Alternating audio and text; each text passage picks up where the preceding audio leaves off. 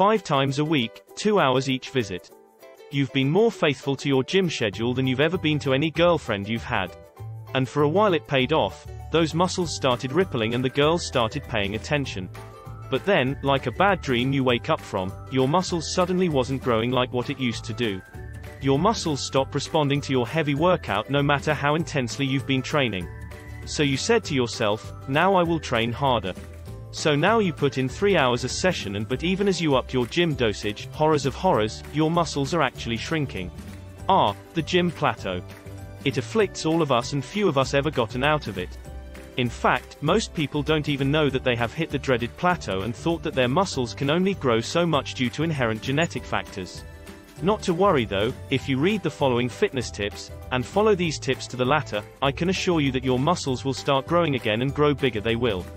Here are your free fitness tips. Fitness tip 1. Take a break. This tip is easy to comply for most of us but very difficult for some gym rats. Simply take a break from your workout. Do not step into the gym or do any workout for two weeks. It's time to let your body recover from the punishments you are dishing out to your muscles. Some bodybuilders may find this difficult to do because working out is addictive. You produce endorphin when you work out and endorphin is also known as happy hormone. The same hormone you produce when having sex. Professional bodybuilders take a break after every 4 to 5 months of hard training and when they are back in the gym, they shock their well-rested but complacent muscles back into massive muscle gain. Fitness tip 2.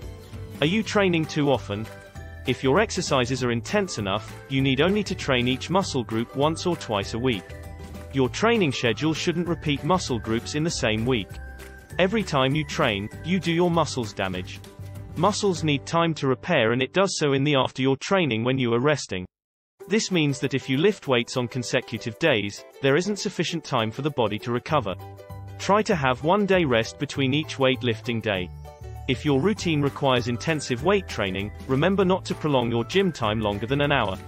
This is because your cortisol, a muscle-eating hormone level will be elevated and thus will be counterproductive to your efforts. It eats your muscles. Most of all, you must sleep. 8 hours or even better, go for 10 hours. Muscles do not grow in the gym, they grow when you sleep. When you sleep, you are secreting growth hormones for many bodily functions and one of those functions is to build muscles. That is why they called it beauty sleep. Fitness tip 3. Are you using the correct weightlifting techniques? If your technique or form is incorrect, not only is your training retarded, you are also inviting injury. Don't laugh. But when you exercise you must think and focus, instead of mindlessly repeating the motions, do take note of how you perform each exercise and representative. Do so with deliberation and at the beginning and end of every lift, pause and squeeze the muscles you are exercising. Mind and muscle must connect. Never never use momentum of the swing to lift the weights and let gravity pull the weight down. That is why you must lift slowly and lower slowly feeling the tension in your muscles and resisting the load all the time. In order for muscles to want to grow, you have to stress them to the maximum and then further. Do enough repetitions until you feel you cannot go any further using good form. You must then either increase the weight or the number of repetitions at the next session. This is called progressive overload, and progressive overload is what forces your muscles to grow. As a general guide, if you can lift more than 12 reps the weight is probably too light and it is too heavy if your muscles fail you in less than 5 reps. You may wish to consult your physical fitness trainer on the correct form and technique for each exercise. Fitness tip 4. Are you using free weights? Most machines do not involve as much of the synergistic muscles, supporting muscles, as free weights do and, therefore, do not build as much muscle mass. Synergistic muscles are the smaller muscles that aid the main muscles in balance and strength in each lift. Machines has its uses, but for beginners and for smashing plateaus, use free weights. Fitness tip 5. Work out with compound exercises. Compound exercises are exercises that involve two or more joint movements and thereby employing bigger muscles and more synergistic muscles. Bench presses, deadlifts, squats, and barbell curls amongst others are fantastic compound exercises. For example, when you squat, all the muscles in your lower body get a workout and that alone is about 60% of your overall musculature. Squat also works your back and abs too. Using more muscles at one go means that you get a better overall workout. To add icing to the cake, because of the massive utilization of your muscles, you will pant, huff and sweat more. That means your routine also has a cardio effect and you will burn calories even hours after you stepped out of the gym. Fitness tip 6. Are you working out your legs? Your body is programmed to grow proportionately with only slight variations. If you do not train your legs, your upper body mass will stop growing before it becomes large. Surely, you've heard of chicken legs.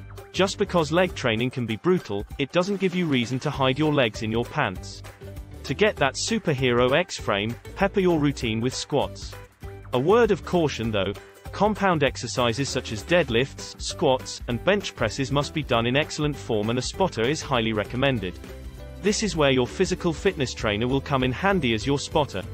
If not, injuries are bound to happen and that may put you permanently out of the gym. Fitness tip 7. What are you eating?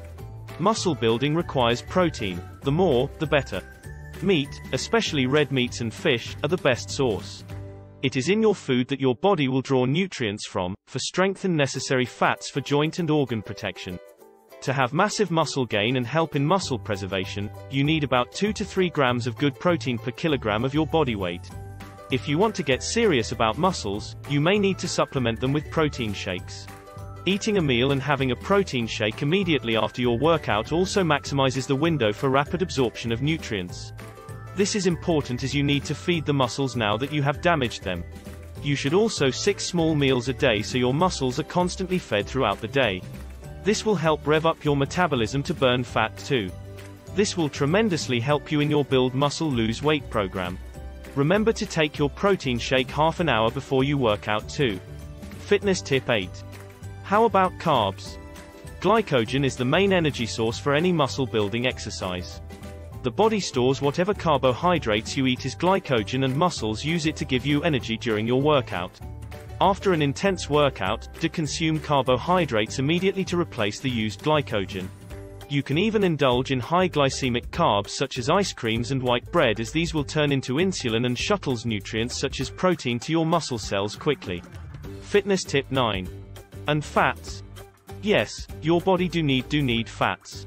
But try to avoid saturated fats such as animal fats or worse, trans fats which are artificial fats found in pastries, confectionaries and preserved food. Consume healthy unsaturated fats such as olive oil, canola oil, fish oils, flax seed oil. Fitness tip 10. Water Water is essential. Water is essential. It is the most underrated macronutrient. You need at least 8 glasses of water every day but when you exercise, you lose even more water because of the sweating. So drink before, during and after your workout. Weigh yourself before and after the workout, and compensate for the loss by drinking at least 16 ounces of fluid for every pound or half a kilogram lost. Fitness tip 11. Creatine. While meats are the best source for creatine, which is a nutrient that helps speed up muscle gain and power you up during workouts, those who do not get enough from their regular diet must be supplemented.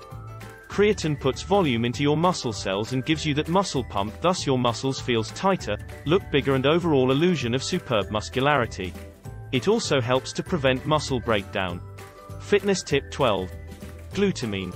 When supplemented, it may help bodybuilders reduce the amount of muscle wasting away or used up as energy.